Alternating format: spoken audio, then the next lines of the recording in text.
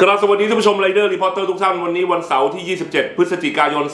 2564 ครับนะวันนี้ตัวเลขอยู่ที่ 6,000 กับ 73 คน มาจากเรือนจำเนี่ย 169 มาจากต่างประเทศ 57 ท่านผู้ชม แล้วก็เป็นการตรวจเชิงรุกเนี่ย 214 คน มาจากการ walk in ท่านผู้ชม 5,633 คนนะวันนี้นะครับนะ มีผู้ติดเชื้อสะสมไปแล้วเนี่ยตั้งแต่เราเจอกับโควิด -19 ไปเนี่ยณวันนี้ 2 72,000 กับ 96 คน แล้วก็ร้อยละของการตรวจพบเชื้อเชิงลุกวันนี้ท่านผู้ชมนะฮะ 9.27%ส่วนผู้ติดเชื้อแบบ ATK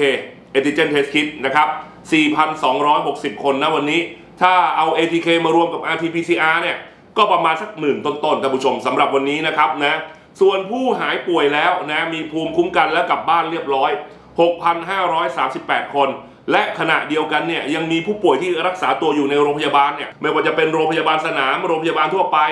Community Isolation Home Isolation หรืออาจจะเป็น Hospital ท่านผู้ชมตัวเลขอยู่ที่ 79,780 คนนะวันนี้นะครับนะแต่ที่น่าห่วงจริงอยากให้มองตัวเลขตรงนี้โฟกัสตรงนี้ 1,385 คนคือผู้ป่วยสีแดง ผู้ป่วยที่มีอาการหนัก และหนักไปมากกว่านั้นก็คือผู้ป่วยที่มีอาการหนักอยู่แล้วเนี่ยต้องใส่ท่อช่วยหายใจ 333 คนนะวันนี้นะครับ ก็ส่งแรงใจไปช่วยนะฮะนะขอให้คุณปลอดภัยขอให้หายป่วยไวๆสู้ๆนะครับเป็นกำลังใจให้ ส่วนจำนวนผู้เสียชีวิตท่านผู้ชมวันนี้ 32 ท่าน เสียชีวิตสะสมรวมๆแล้วตั้งแต่มีโควิด -19 มา2583 คน ผมก็ต้องขอแสดงความเสียใจแบบสุดซึ้ง เสียใจแบบมาก ๆ เลย กับทุกการสูญเสียกับทุกการจากไปนะฮะท่านผู้ชมมาอัปเดตเรื่องของวัคซีนต่อนะวันนี้เนี่ยเป้าหมายเราคือ 100 ล้านโดสสิ้นปีนี้นะครับเหลืออีก 10 ล้านโดสท่านผู้ชมณขณะนี้น่าแสดงว่าเราฉีดไปแล้วเนี่ยประมาณสัก 90 ล้านโดสเข็มที่1เนี่ย47 ล้านนะครับ เข็มที่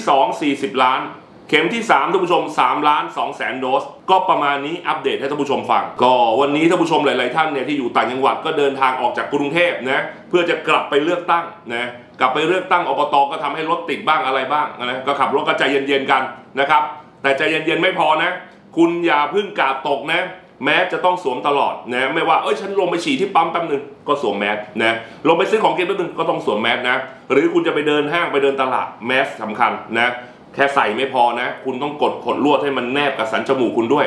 นะครับไม่เช่นนั้นเนี่ยเชื้อมันอาจจะเข้าทางอากาศแล้วเข้าทางจมูกคุณได้นะครับก็สู้ๆครับ เป็นกำลังใจให้กันเสมอขอบคุณครับ